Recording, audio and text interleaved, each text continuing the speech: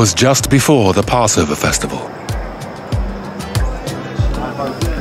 Jesus knew that the hour had come for him to leave this world and go to the Father. Having loved his own who were in the world, he loved them to the end. The evening meal was in progress, and the devil had already prompted Judas, the son of Simon Iscariot, to betray Jesus. Jesus knew that the Father had put all things under his power and that he had come from God and was returning to God. So he got up from the meal, took off his outer clothing, and wrapped a towel round his waist. After that, he poured water into a basin and began to wash his disciples' feet, drying them with the towel that was wrapped round him. He came to Simon Peter, who said to him, Lord, are you going to wash my feet?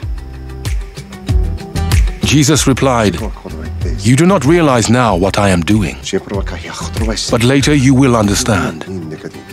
No, said Peter, you shall never wash my feet. Jesus answered, Unless I wash you, you have no part with me. Then, Lord, Simon Peter replied, Not just my feet, but my hands and my head as well. Jesus answered, Those who have had a bath need only to wash their feet. Their whole body is clean, and you are clean, though not every one of you. For he knew who was going to betray him, and that was why he said, Not everyone was clean.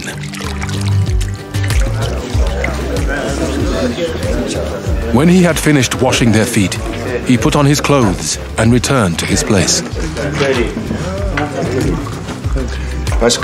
Do you understand what I have done for you? He asked them. You call me teacher and Lord, and rightly so, for that is what I am. Now that I, your Lord and teacher, have washed your feet, you also should wash one another's feet.